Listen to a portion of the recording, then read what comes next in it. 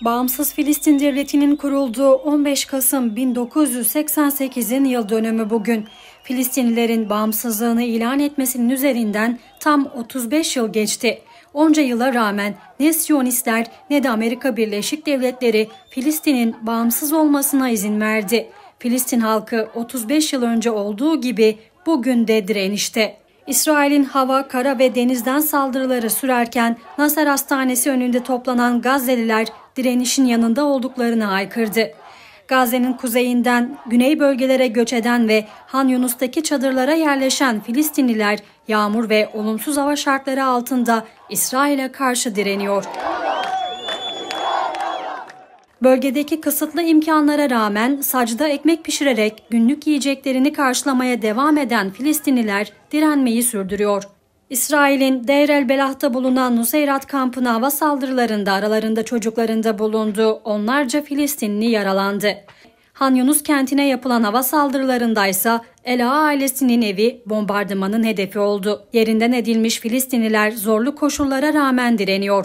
Refah kentinde evler kullanılamaz hale gelirken evi yıkılan yaralı Filistinliler yağmurun altında eşyalarını topladı. İsrail güçlerinin Gazze'nin farklı bölgelerine düzenlediği saldırılar Sederot kentinden görüntülendi. Cibaliye mülteci kampına yönelik saldırılar da devam ediyor.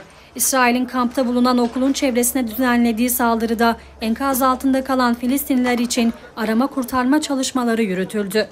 Filistin Kızılay'ı Kudüs Hastanesi'ndeki hastalar, aileler ve sağlık çalışanlarının tahliye edildiğini bildirdi. İsrail'in kuşattığı ve zaman zaman baskın düzenlediği şifa hastanesinde de direniş sürüyor.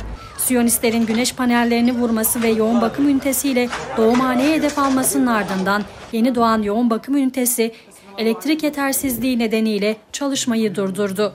Yeni doğan yoğun bakım ünitesinde tedavi altındaki prematüre bebekler ise kuvözlerden çıkartılarak hastanedeki başka bir bölüme sevk edildi. İran Dışişleri Bakanı Hüseyin Emir Abdullahiyan'dan dikkat çeken bir açıklama geldi.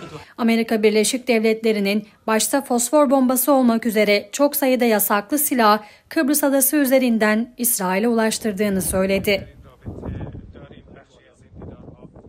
Merhaba arkadaşlar ben Halil Nebiler. Ulusal YouTube kanalına göz attığınız için peşin peşin teşekkür ederim. Eğer daha fazla video, program özeti, ne bileyim canlı yayın falan izlemek isterseniz sağ taraftaki abone ol butonuna tıklayabilirsiniz. Butonlar ve aşağıda mı yukarıda mı aşağıda galiba değil mi? Heh, oraya tıklayabilirsiniz. Son dakika haberleri için ulusal uygulamasını indirmeyi unutmayın. Şimdiden izlediğiniz için teşekkür ederim.